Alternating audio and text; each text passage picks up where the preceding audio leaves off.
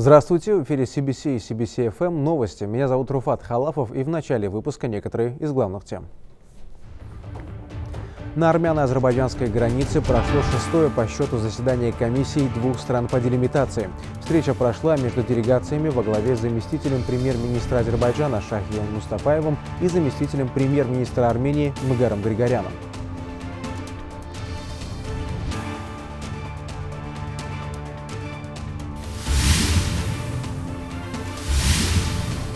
Если кто-то хочет близости, то нужно понять, насколько это небезопасно и каким последствиям приведет. Так официальный представитель МИД России Мария Захарова прокомментировала заявление спецпредставителя НАТО на Южном Кавказе Хавьера Каламины о том, что в Альянсе очень воодушевлены движением Еревана в его сторону.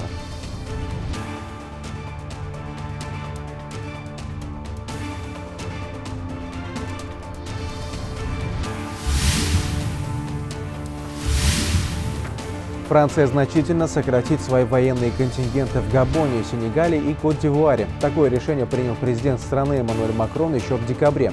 Отмечается, что на большинстве баз Франции в этих странах процесс сокращения числа военных уже начался.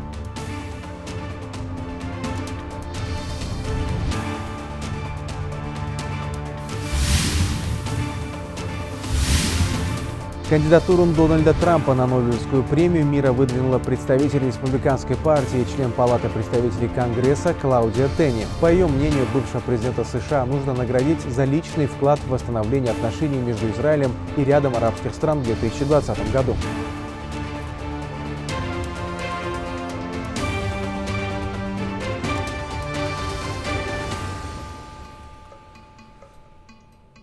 Вице-премьеры Азербайджана и Армении Шахин Мустафаев и Мгар Григорян провели переговоры на участке границы Идживан-Газах. Это шестая встреча комиссии Азербайджана и Армении по делимитации и демаркации границ. О том, к чему удалось прийти в ходе предыдущих переговоров, в следующем материале.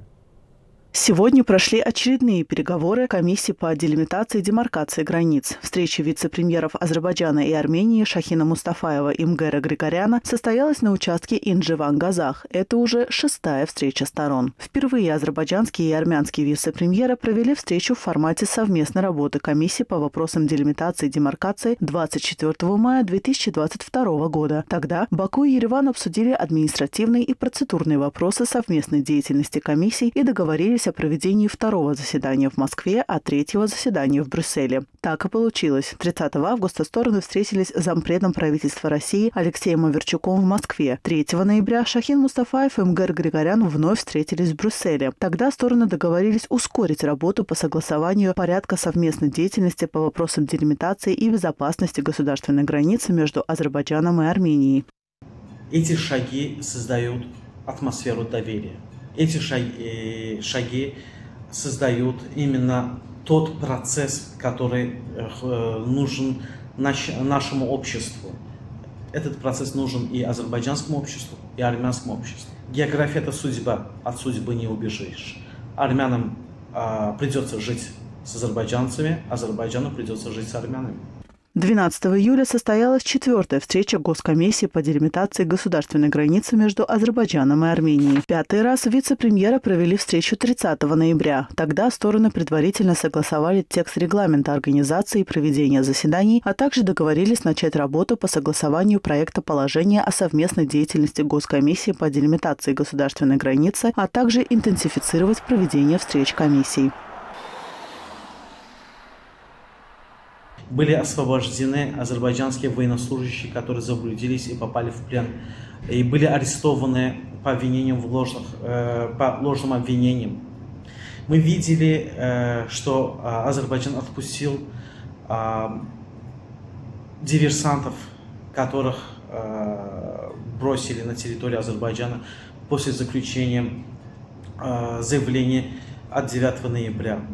Частота проведения подобных встреч в очередной раз показывает их важность. Это четкий месседж всем, кто хочет вмешаться в ситуацию на Южном Кавказе. В прошлом году Азербайджан и Армения не раз встречались при помощи посредников, однако договоренности были достигнуты в ходе прямых переговоров между странами. Эллада Мамедова, CBC. Тему продолжим с гостем. На прямой связи со студией доктор юридических наук, чрезвычайный и полномочный посол Намик Алиев. Намик добрый вечер, здравствуйте. Добрый вечер, Руфат. Э, сегодня состоялась шестая встреча между вице-премьерами Азербайджана и Армении по делимитации и демаркации границы. Хотелось бы у вас узнать, какие вопросы лежали на повестке переговоров сегодня. Ну, если следить за прессой, то вопросы, э, в общем-то, не были озвучены.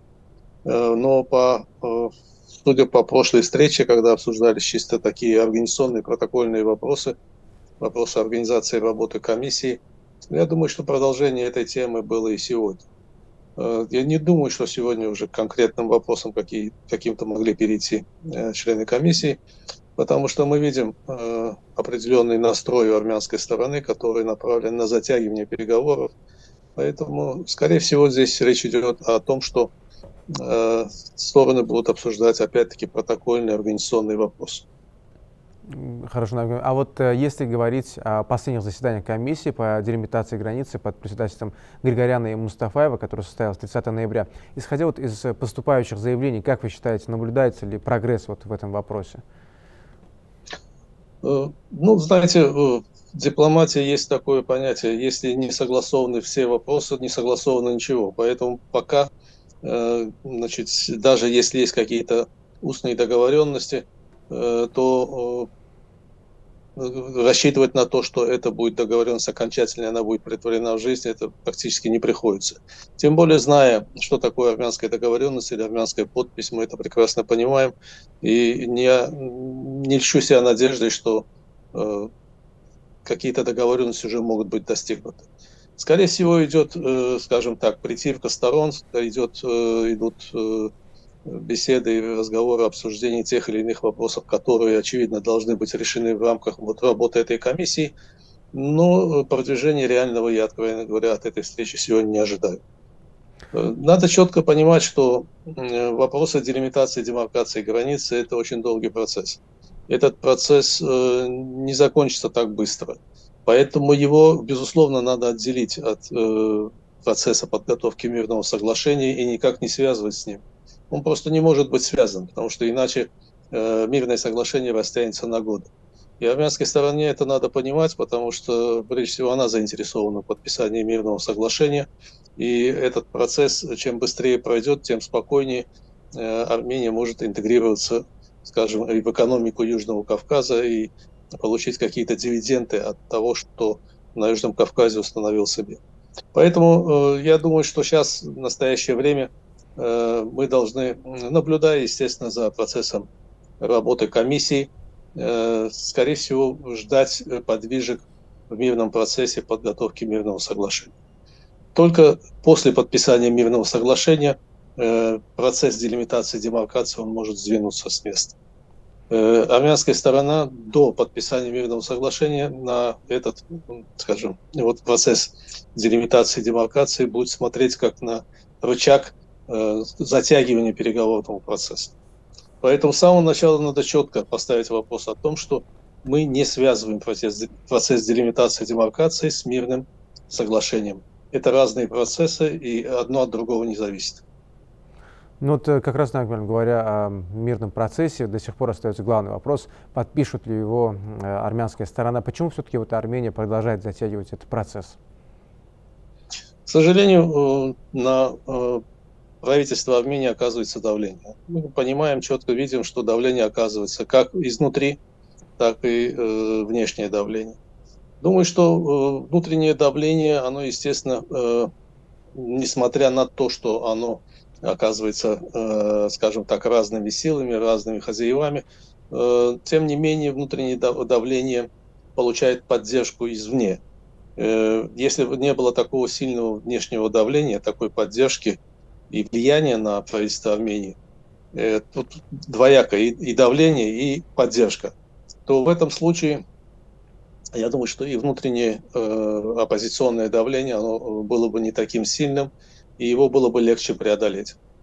Э, я думаю, что здесь э, правительству Армении Пашиняну необходимо определиться, потому что э, естественно, что если он будет идти в русле э, тех э, трендов, которые определяют ему Э, хозяева э, и э, подпадать, скажем, под влияние и под требования оппозиции, внутреннего давления, то выйти на подписание мирного соглашения ему будет очень тяжело, и этот процесс в конечном итоге может привести к смене власти в Армении, потому что э, э, избиратель, который проголосовал за него и который оказал поддержку, несмотря на то, что э, Пашинян проиграл 44-дневную войну, он в конечном итоге разочаруется и будет искать э, новых э, лидеров, новых э, политических фигур, которые могли бы э, повернуть, в общем-то, этот процесс в сторону э, значит, э, заключения мирного договора.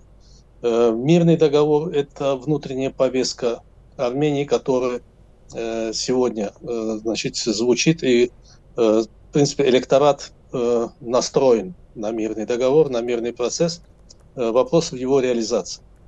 Ведь электорат, который проголосовал за Пашиняна, он настроен на э, мирную повестку дня, настроен на заключение договора и настроен на установление мирного мира на Южном Кавказе. Это не весь электорат Армении, но это большинство э, выборщиков, большинство тех, кто голосовал за Пашиняна. Поэтому у Пашиняна еще есть шанс э, не упустить эту возможность. Но время идет, и эта возможность, она может быть, к сожалению, упущена. Спасибо большое, Нагмар. Спасибо за подключение, за ваши ответы. На прямой связи со студией был доктор Спасибо юридических вам. наук, чрезвычайный полномочный посол Намик Алиев. До свидания. НАТО поддерживает процесс нормализации отношений между Азербайджаном и Арменией, заявил накануне специальный представитель генерального секретаря НАТО по Южному Кавказу и Центральной Азии Хавьер Каламина. По его словам, на данном этапе не следует менять согласованные между сторонами принципы. В НАТО надеются на возобновление мирных переговоров в ближайшее время, и неважно, будут они двусторонними или при участии США и Евросоюза. Самое главное – это конечный результат и стабильный мир, заявил Каламина. Он подчеркнул, что НАТО ожидает урегулирования отношений отношения на основе согласованных принципов, и некоторые из этих принципов, такие как суверенитет и территориальная целостность, закреплены в Вашингтонском договоре и Уставе ООН. Вопрос о том, соответствует ли мирному договору предложенный Ереваном пакт о ненападении, нужно направить азербайджанской стороне. Об этом на брифинге в среду заявила официальный представитель МИД России Мария Захарова, отвечая на вопрос о предложении Еревана подписать пакт о ненападении с Баку. По ее словам, Москва уверена, что гарантией установления стабильности и устойчивого долгосрочного мира на Южном Кавказе является скорейшее восстановление реализации комплекса трехсторонних договоренностей на высшем уровне, которые были заключены в период с 2020 2020 по 2022 год. Это безальтернативная дорожная карта примирения Баку и Еревана. Она включает в том числе и выработку мирного договора, сказала Захарова.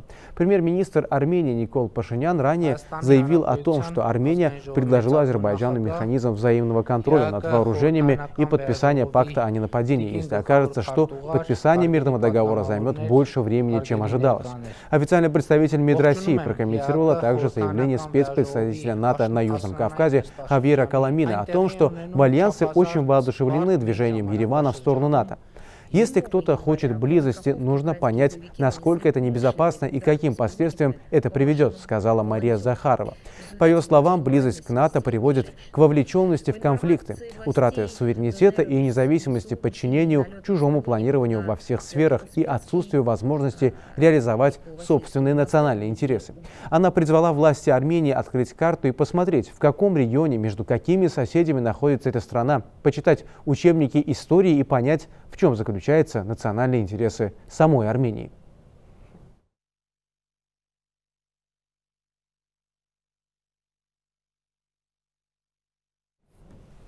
Франция намерена в скором времени сократить военное присутствие в Габоне, Сенегале и Кот-д'Ивуаре. О планах Парижа отказаться от крупных контингентов Западной Африке сообщает издание «Le Monde». Отмечается, что Париж будет усиливать взаимодействие с американскими представителями, создавая совместные военные базы в данных странах, поскольку США рассматривают вариант передислокации военных из Нигера в страны Западной Африки. Вслед за позорным выводом войск из Нигера в октябре ушедшего года на фоне антифранцузских настроений и госпереворота в этой стране вооруженные контингенты Франции спешно покидают еще три государства Черного континента. Сообщая новость о решении Парижа в отношении Западной Африки, французская газета «Le Monde» ссылается на высокопоставленного представителя правительства. По его словам, Франция хочет отойти от модели, в которой страна постоянно присутствовала в африканских столицах и занять гораздо меньшую площадь. Отмечается, что для обеспечения прежнего уровня безопасности безопасности в регионе, Париж будет усиливать взаимодействие с американскими представителями. По итогам жестких дискуссий в ходе Совета обороны, который состоялся в середине декабря, Макрон решил резко сократить военный персонал в Габоне, Сенегале и Кот-д'Ивуаре. Точное количество солдат, которые будут находиться на базах в Либревилле, Дакаре и Абиджане, неизвестно, однако будет сохранено порядка 100 человек в каждой из стран. Новость о сокращении французского военного присутствия в перечисленных странах Западной и Центральной Африки, на первый взгляд, можно было бы воспринять как позитивный момент. Казалось бы, это свидетельство конца постколониальной эпохи, ведь бывшие метрополии, в частности Франция, окончательно теряют контроль над путем развития некогда зависимых от них наций. Однако, по мнению экспертов, Франция по факту намерена лишь переформировать свою политику неоколониализма. Мнение аналитиков подтверждают и слова начальника штаба военно-воздушных сил Франции Стефана Миля, который еще в сентябре прошлого года заявил, заявлял, что Париж планирует сократить количество военных баз в Западной Африке для последующего увеличения их числа в Тихоокеанском регионе. Поскольку сил и средств не хватает на то, чтобы быть глобальной державой, Франция понимает, что им нужно четче э, определять приоритеты. Поскольку Африка так и не стала важным со стратегической, экономической или любой другой, кроме ресурсной, точки зрения континентом, Африка не оправдала те надежды, которые еще 20-30 лет в ее отношении. Кроме ресурсов, э, в том числе человеческих, э, Африка миру до сих пор, к огромному сожалению, ничего не предлагает. По информации издания Le Monde, до сих пор в Габоне и Сенегале было расквартировано по 350 солдат, а в Кот-Ивуаре размещалось около 950 военнослужащих французской армии. При этом присутствие Франции в Джибути и Чаде по 1500 солдат в каждой стране остается неизменным. Иными словами, Франция изменила приоритеты в пользу региона на другом конце земного шара, который она также контролирует с 19 века и по сей день. Океания, в отличие от Африки, в настоящее время представляет большую перспективу, как со стратегической, так и экономической точки зрения. Эксперты уверены, именно здесь сегодня станут разворачиваться процессы, которые определяют, кто из мировых держав добьется большей власти в 21 веке. Контроль э, движения стратегических э, ресурсов э, в Тихоокеанском регионе абсолютно ключевой. И любая страна, которая хочет иметь влияние в мире, должна там присутствовать в том числе в военном плане для контроля путей сообщения, ну, в данном французском случае прежде всего между э, Азией и э, Европой. Без контроля э, этих движений товаров, людей, капиталов и технологий ни у Франции, ни у какой другой державы не будет не будет влияния, не будет у них шансов остаться влиятельной страной в 21 веке. Грабить Африку у Франции, безусловно, получается лучше всего. И в целом отсутствие французских военных кардинальным образом не повлияет на ослабление неоколониальной политики этой страны в африканском регионе. Коррупция и контроль капиталов – достаточное средство для сохранения влияния в большинстве стран Африки. Тем не менее, передислоцирование французских военных контингентов – свидетельство полного морального и этического краха тех ценностей и целей, которые Франция заявляла на предмет своего присутствия в Африке. Фарид Адилов, CBC. Тему обсудим с гостем на прямой связи со студией журналист-африканист, автор телеграм-канала «Галопом по Африке» Дарья Лабутина. Госпожа Лабутина, добрый вечер, здравствуйте.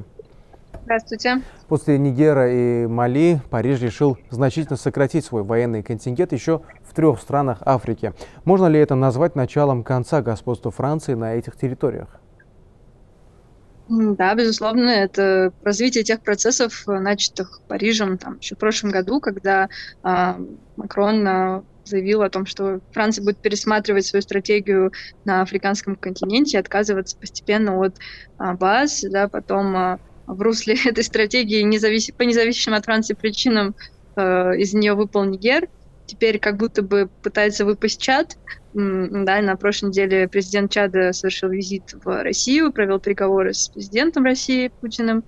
А, ну, это не означает, что чат э, выпал из обоймы, но процессы какие-то идут, то есть там тоже недовольны. А, те три страны, которые были перечислены вами, Габон, а, там произошел переворот тоже, да, на, недавно, несколько месяцев назад, Кот-Дивуар и третья страна Сенегал. Да, Сенегал и Кот-Дивуар, конечно, основные, ну и Габон тоже основные точки были французского влияния после Нигера.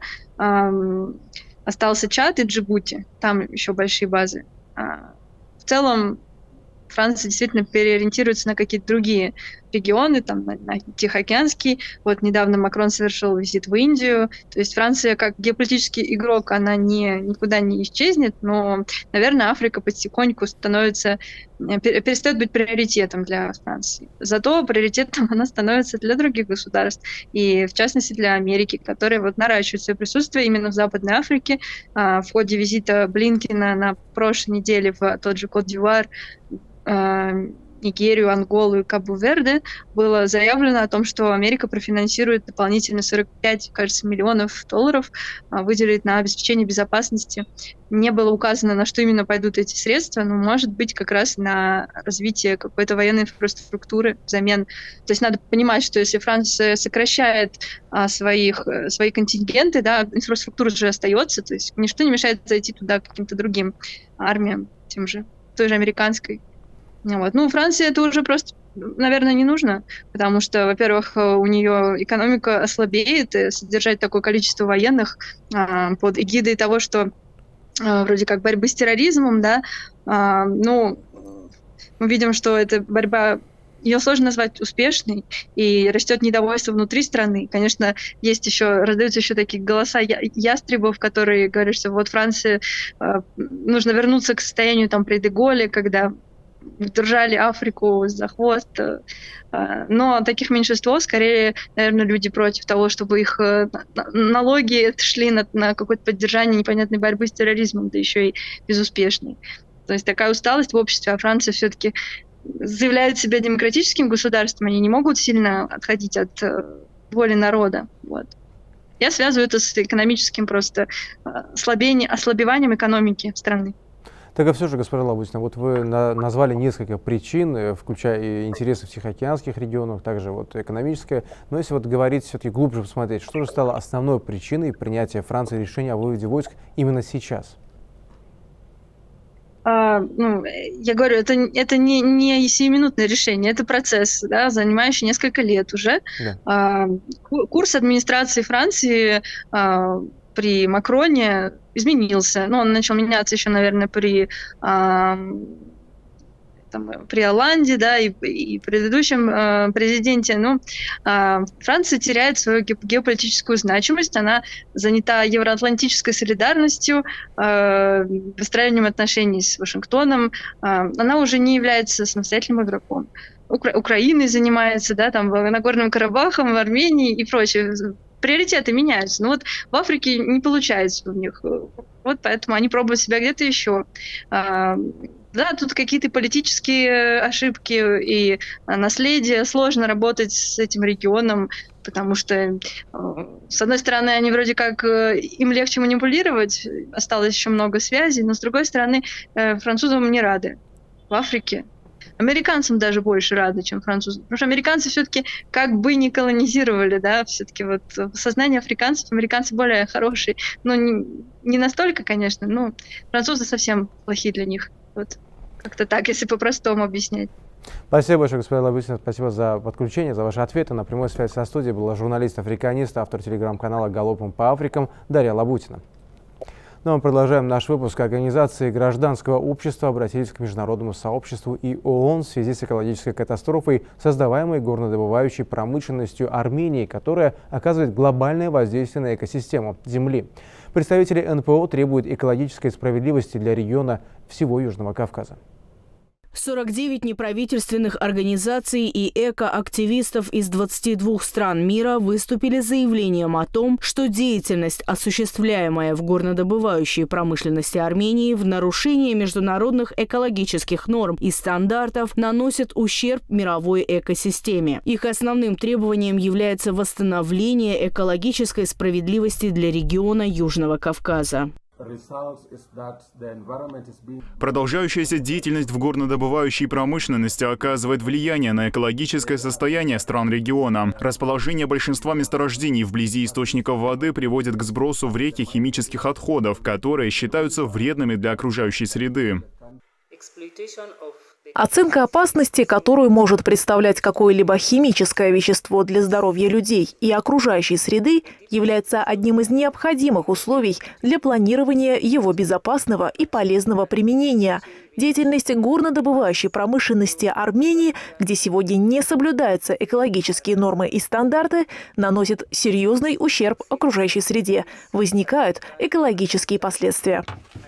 В заявлении также было отмечено, учитывая место проведения Международного климатического саммита КОП-29 в Баку, Ереван должен воздержаться от действий, наносящих ущерб окружающей среде, тем самым выполняя свои обязательства. Ведь то, что творит Армения, представляет собой угрозу экологической системе не только Азербайджана, но и всего Южно-Кавказского региона. В заявлении содержится требование с учетом международных стандартов и принципов открыть двери всех объектов горно горнодобывающей промышленности Армении для международных экспертов, специализирующихся в области экологии и здравоохранения, предоставить на месте все условия для осмотра предприятий, осуществления оценки и мониторинга, отбора соответствующих образцов проведения измерительных работ. В то время как ООН признает чистую, здоровую и устойчивую окружающую среду в качестве основного права человека, Армения серьезно нарушает требования Конвенции об оценке воздействия на окружающую среду в трансграничном контексте Европейской экономической комиссии. Около 70% поверхностных водных ресурсов Азербайджана сформированы в соседних странах за счет трансграничных водных потоков. Поскольку Армения географически расположена в бассейне рек, протекающих через Азербайджан, любая деятельность в горнодобывающей промышленности, осуществляемая на ее территории, безусловно влияет на экологию в регионе. Зарубежные НПО также поддержали обращение организации гражданского общества Азербайджана и Армении о немедленном прекращении работ на золоторудном месторождении Амулдак. В последнее время заявления азербайджанских НПО вызывают серьезный резонанс в зарубежных странах, в том числе в Армении. Зарубежные НПО потребовали от Армении выполнения своих экологических обязательств. Передуня Малиева, CBC.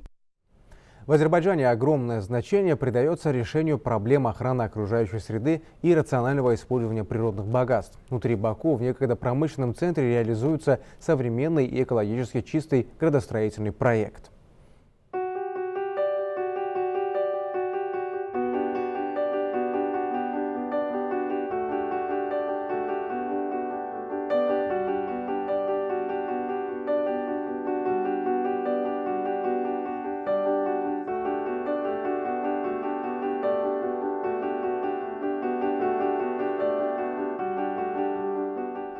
Когда-то район, взявший на себя весь груз нефтедобывающей отрасли Азербайджана, назывался «Черным городом». Здесь было множество нефтеперерабатывающих заводов, чреватые которых были нефтяные отходы. Тогда невозможно было представить, что зона экологического бедствия так преобразится. Сейчас же это белый город, и название говорит само за себя. Еще больше века назад на территории нынешнего Белого города были разработки нефтяных месторождений Абширонского района, а Баку стал крупнейшим промышленным центром Российской империи и мира. Дыма и копоти от заводов было так много, что вскоре все почернело, и новое поселение метко было названо Черным городом. Люди, пребывавшие там, жаловались, что невозможно дышать из-за облаков дыма от нефтеперерабатывающих заводов и испарений нефти от скважин. Нефть, которая раньше загрязняла и ухудшала район столицы Азербайджана, сегодня помогает ему стать одним из красивейших и экологически чистых мест в Баку. Сегодня э, Белый город является важным э, значит, проектом э, формирования уже всего облика города Баку. И что хорошо, что здесь работы ведутся с градостроительной точки зрения значит, комплексно с нуля. То есть это не отдельные объекты, а целые кварталы.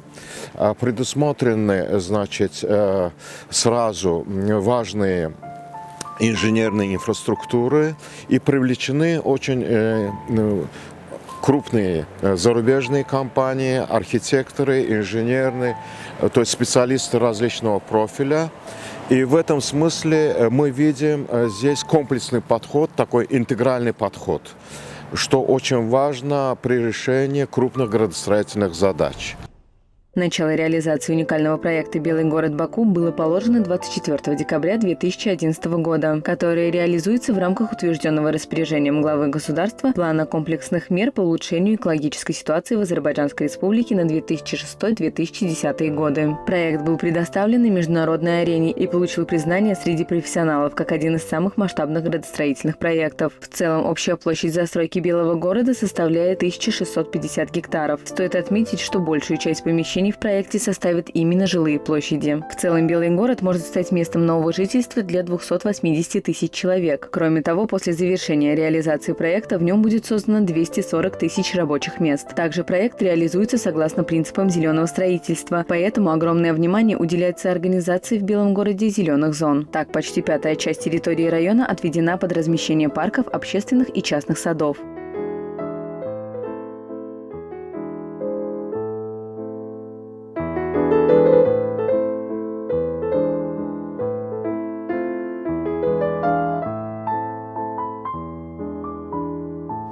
Конечно, важное э, место будет иметь то, что сейчас закладывается скверики, парки, то есть рекреационная зона, зона отдыха, э, растительность определенная, э, оливковые деревья. Все это будет в целом работать на то, чтобы принципиально изменилось экологический облик и состояние вот этой части города.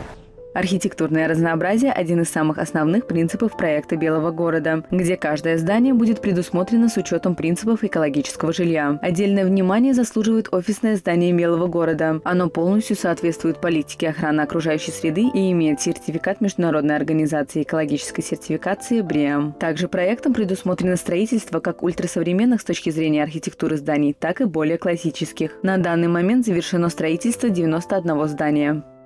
Здесь получается интересное такое сочетание современной архитектуры и э, классических э, сооружений, которые у меня за спиной. Поэтому в этом смысле современность очень органично э, значит, э, сочетается с классической архитектурой, но уже в более, масш... более э, э, больших масштабах э, в формате белого города – и при этом оно как бы некая такая интересная проекция того, чего есть в другой части города. И э, с этой точки зрения, конечно, эстетика белого города – это уникальный проект, это уникальная реализация. Я думаю, что это будет знаковой частью нашего прекрасного города Баку.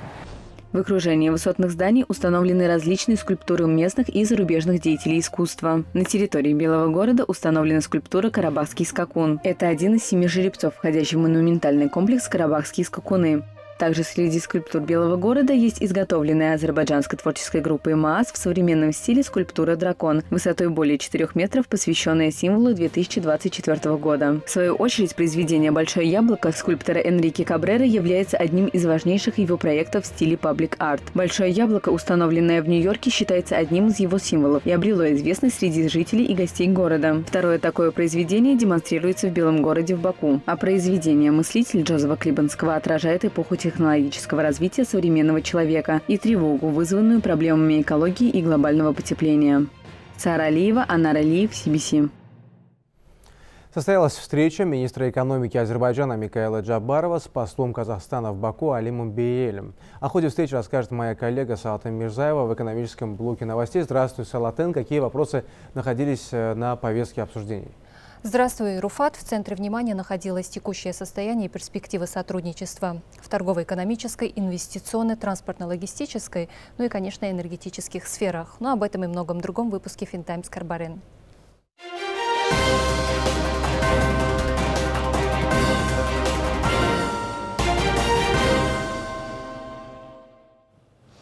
Итак, министр экономики Азербайджана Микаил Джабаров провел встречу с послом Казахстана в Баку Алимом Баелем.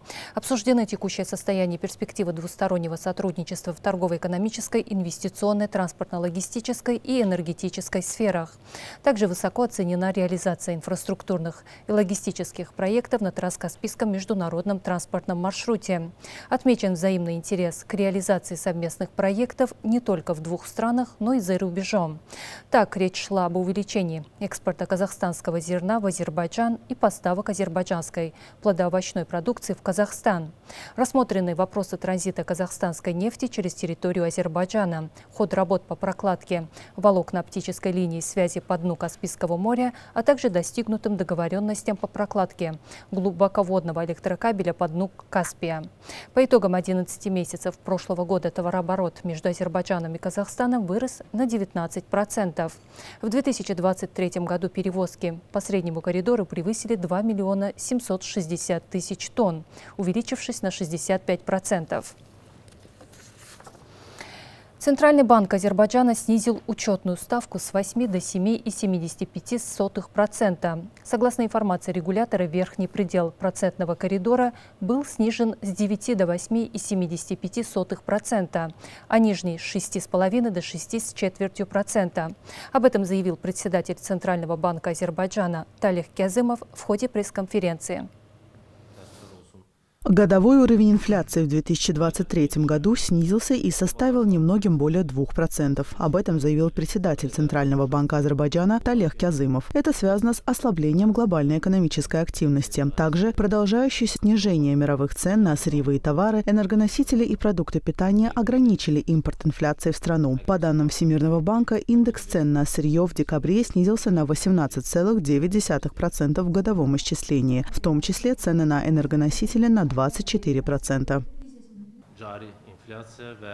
В 2023 году инфляция за 12 месяцев составила 2,1% и сформировалась в нижней части целевого диапазона. Снижение инфляции наблюдалось по всем групповым компонентам потребительской корзины. Годовая продовольственная инфляция составила 0,8%, непродовольственная инфляция 2,7%, инфляция в сфере услуг 3,7%. Динамика фактической инфляции также повлияла на инфляционные ожидания. По данным продовольственной и сельскохозяйственной организации ООН ФАО, индекс цен на продовольствие в декабре снизился на 10,1% в годовом исчислении. Еще одним фактором, повлиявшим на инфляцию, стало равновесие на валютном рынке. Как отметил Талех Кязымов, слабая глобальная экономическая активность и сохраняющиеся жесткие денежно-кредитные условия в большинстве стран могут оказать сдерживающее воздействие на глобальные инфляционные процессы. В течение года номинальный эффективный курс Моната увеличился на 19,3%, что является основным фактором, оказывающим снижающее влияние на импортируемую инфляцию. Как и ожидалось, главным событием, повлиявшим на монетарные условия со времени последнего заседания, стали масштабные покупки валюты для бюджетного сектора. В целом, в 2023 году покупательская интервенция Центробанка на валютном рынке составит 2,1 миллиардов долларов. Это были доллары США. Покупка валюты создала условия для повышения ликвидности банковской системы. В целом, за 2023 год год денежная база в монатах увеличилась на 19,6%. Из них 14,6% пункта пришлось на декабрь. Как отметил глава Центробанка, наряду с отмеченными позитивными тенденциями существуют и риски, которые могут повлиять на инфляцию. Продолжение геополитической напряженности способно привести к повторному росту мировых цен на различные сырьевые товары. К примеру, ситуация вокруг Красного моря оказывает серьезное влияние на глобальную цепочку поставок. Несмотря на это, международные организации сохраняют высокие прогнозы цен на энергоносители до 2024 года. Эллада Мамедова, Анар Алиев, CBC. На Бакинской фондовой бирже подвели итоги прошедшего года. В частности, отмечено, что за отчетный период рынок государственных ценных бумаг пережил определенный рост по сравнению с 2022 годом. За прошедший 2023 год общий объем операций с ценными бумагами на Бакинской фондовой бирже составил 27 миллиардов монат. На первичный рынок пришлось 7,7 миллиардов монат, вторичный рынок составил 2 миллиарда монат соответственно. Общий объем операций по сделкам репо составил 17 миллиардов монат.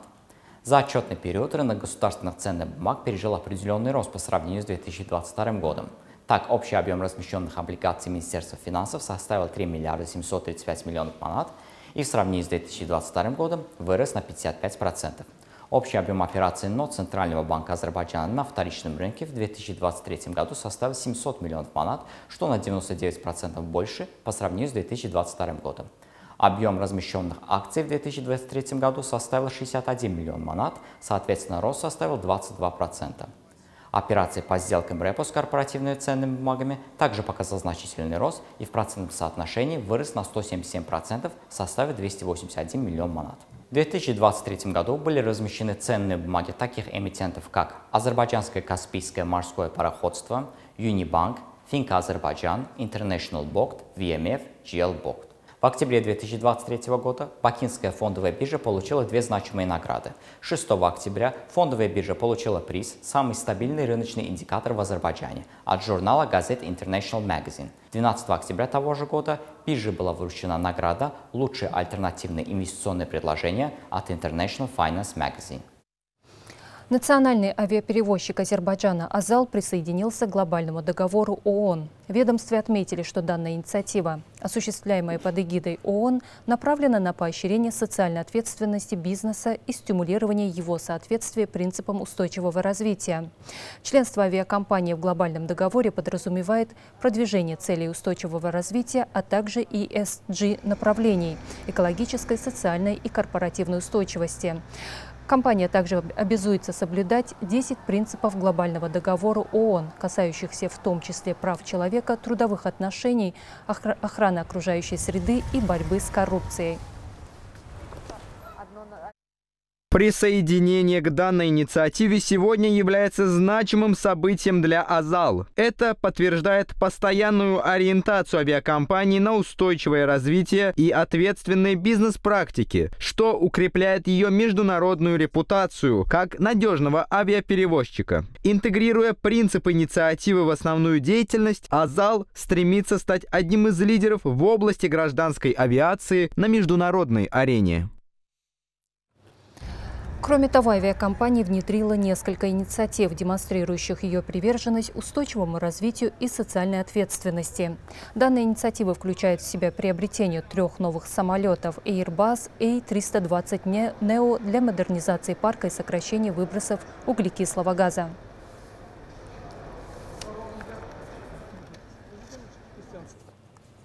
Состоялся очередной выпуск учащихся Азербайджанского центра кибербезопасности. Еще 60 человек, по словам представителей центра, внесут свой значимый вклад в сферу кибербезопасности страны. В выпускной день студенты уже представили свои проекты и идеи в данной области. А добившиеся высоких результатов в ходе обучения и победители хакатон получили высокие награды от организаторов выпускного дня. Азербайджанский центр кибербезопасности функционирует при Министерстве цифрового развития и транспорта, Агентство инноваций цифрового развития, совместно с Израильским технологическим институтом Технион. Целью центра является выявление потенциальных кадров и дальнейшая подготовка профессиональных специалистов, которые окажут положительное влияние на цифровое будущее и цифровую среду страны в целом.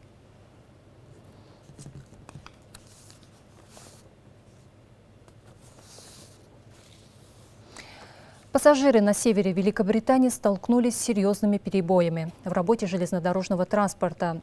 Забастовки машинистов поездов остановили все рейсы Northern и Trans Pain Express.